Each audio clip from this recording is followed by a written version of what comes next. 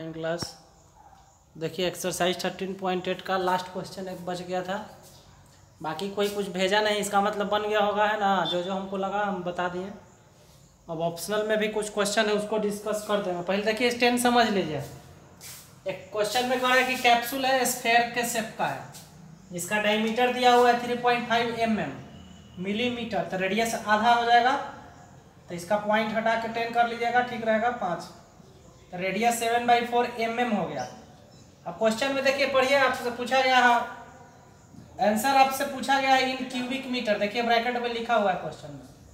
तो आंसर जब पूछा गया है क्यूबिक मिलीमीटर में रेडियस मिलीमीटर में है, तब इसको सेंटीमीटर में चेंज करने का कोई ज़रूरत नहीं है। रेडियस मिलीमीटर में है आंसर पूछा गया है क्यूबिक मिलीमीटर में तो यूनिट चेंज करने का कोई ज़रूरत नहीं आप वॉल्यूम लगाइए स्फेरिकल दिया हुआ है सर तो स्फेयर का four by three pi R cube तो फोर बाई थ्री पाई का value twenty two by seven R cube तो देखिए radius seven by four millimetre है। तो यहाँ सेवन बाई फोर मिलीमीटर इसका होल क्यूब ब्रैकेट में कर दीजिए। इसके बाद इसको सॉल्व कर लीजिएगा, जो आंसर आएगा वो खुद क्यूबिक मीटर में चला आएगा। तो आंसर आपसे क्यूबिक मीटर में ही पूछा गया है। तो इसको भी सॉल्व कर लीजिएगा, है ना? देखिए थर्टीन पॉइंट नाइन में ऑप्शनल में तीन क्वेश्चन है। तो तीनों क्वेश्चन है, थोड़ा लंबा लंबा कैलकुलेशन है। तो उसका जो पहला क्वेश्चन है ना जो बना हुआ है सेल्फ बुक सेल्फ रखने वाला, उसको तो अगर हम अभी समझाएँगे तो समझ में आप लोग को देखिए वो आएगा नहीं। यहाँ हम समझाते रह जाएँगे, बोलते रह जाएँगे कि इतना कम है, इतना पीछे से इतना बढ़िया से नहीं समझ में आएगा। उसको हम स्कूल में है उस तरह का बना हुआ। तो क्लास जब चलता है ना तो उसको बेंच पे रख के समझाते हैं तो बच्चा को बढ़िया से तुरंत समझ में चला आता है। तो अभी हम समझाएँगे ना तो नहीं समझ में आएगा एकदम हंड्रेड परसेंट है। जो लोग बना लेगा अपने से, वो तो चलो ठीक है, बढ़िया, अच्छी बात है। लेकिन उसको अगर हम अभी समझाएँगे या ना तो नहीं समझ में आएगा। वो लकड़ी का एक बना हुआ है यहाँ ऊपर हॉस्टल में है, उस पर बच्चा का जूता रखने के लिए है। तो अगर उसको हम दिखाएँगे ना क्लास में तो बढ़िया से विजुअलाइज होगा तो तुरंत बढ़िया से समझ में आएगा। तो फ़र्स्ट क्वेश्चन को छोड़ दीजिए, है ना? स्कूल खुलेगा तो क्लास में हम उसको समझा देंगे, है ना? देखिए, वो हम दिखा देते हैं आप लोग को। वो लकड़ी का बना हुआ, जस्ट उसी टाइप का है। अगर उस सामने से हम समझाएँगे तो बढ़िया समझ में आएगा। अब उसको यहाँ कैमरा के सामने भी लिया के समझाना मुश्किल है, क्योंकि लकड़ी का बना हुआ है ना स्पेस यहाँ पे कम है। देखिए, उसको हम आप लोग को दिखाते हैं।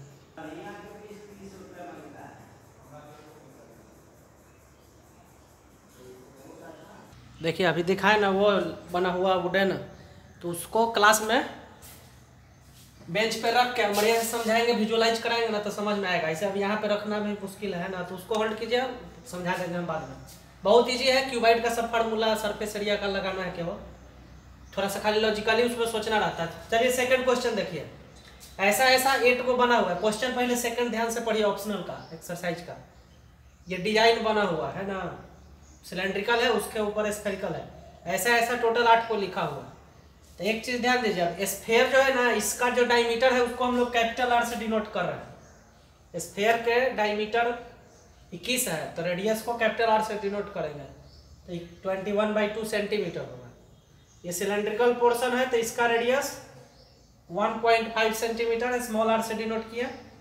और इसका जो हाइट दिया हुआ है, वो सेवन सेंटीमीटर दिया हुआ है क्वेश्चन में।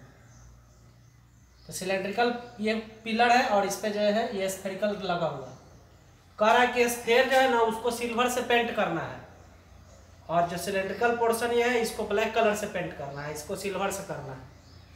कॉस्ट दिया हुआ है तो पहले हम लोग इसका सरफेस एरिया निकालते हैं। ध्यान से लेकिन समझिएगा बात। जैसे सिलेंडर स्फेयर है ना, इसको पेंट करना है तो पेंट आप कीजिएगा तो थोड़ा सा ध्यान से समझिए इतना। इधर इधर ये सब पेंट किए हैं हम इसको। इधर से भी ऐसे पेंट किए हैं। है ना? बट इतना दूर नहीं ना पेंट होगा, ध्यान से समझिए। क्योंकि नीचे से जो पिलर होगा, वो तो ऐसे सटा हुआ होगा। तो जितना दूर ये सटा हुआ रहेगा मतलब जितना दूर इसका ये सरफेस एरिया होगा, उतना तो पेंट नहीं ना होगा, चूँकि ये तो सट गया। तो सट गया तो तो पेंट होगा नहीं। तो आपको क्या करना है, ध्यान से समझिए, लिखते रहे बात।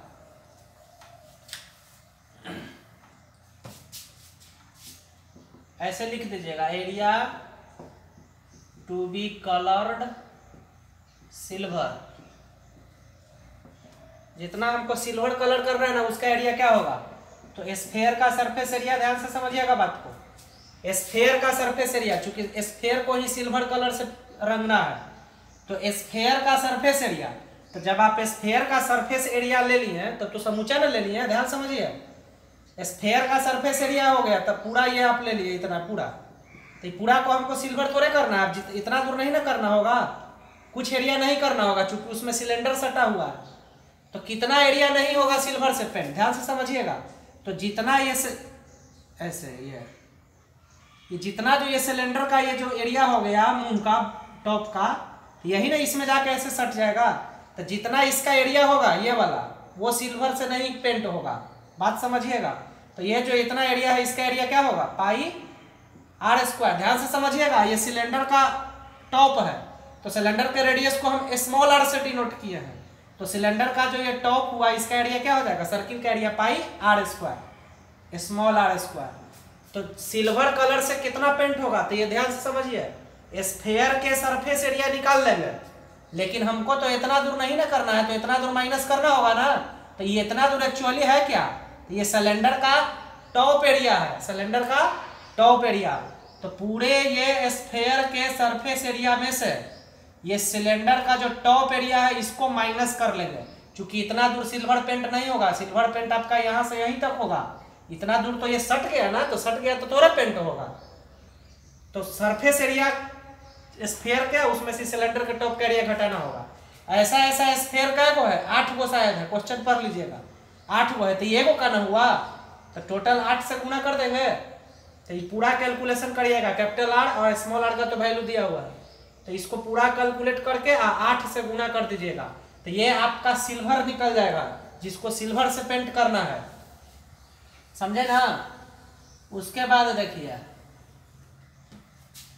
अब सिलेंडर जो है उसको ब्लैक से करना है। तो ध्यान से देखिए, जैसे ये ज़मीन पे है, आ ये सटा हुआ है।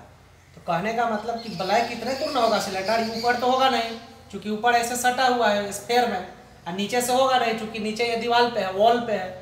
दीवार पे ऐसे रखा हुआ है। तो सिलेंडर कहने का मतलब ब्लैक कलर इतना ही होगा, ना तो ऊपर से होगा, चूँकि स्पेयर में सटा हुआ है ना नीचे से होगा, चूँकि दीवार पे है। तो इसके लिए आपको सरफेस एरिया निकालना होगा। तो यहाँ लिख दीजिएगा, area to be black coloured.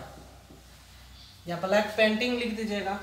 तो इसके लिए सिलेंडर का सर, कर्व सरफेस एरिया निकालना होगा, ध्यान से समझिए। ब्लैक आप इतने ना कीजिएगा, इसी को ना ब्लैक से कीजिएगा, इधर से और इधर से।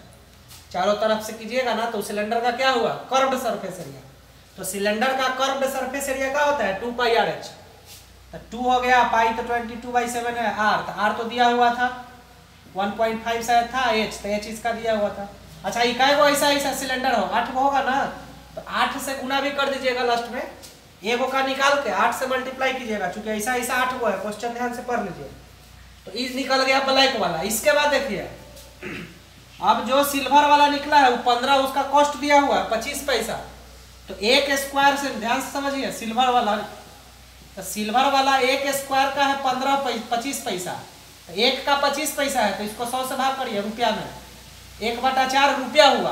तो एक का हुआ एक बटा चार रुपया तो सिल्वर वाला निकालिएगा आठ से गुना करके, फिर उसको एक बटा चार से गुना करना पड़ेगा। ब्लैक वाला। तो ब्लैक वाला एक स्क्वायर सेंटीमीटर का है पाँच पैसा। तो पाँच को सौ से भाग कर दीजिए तो एक बटा बीस रुपया होगा।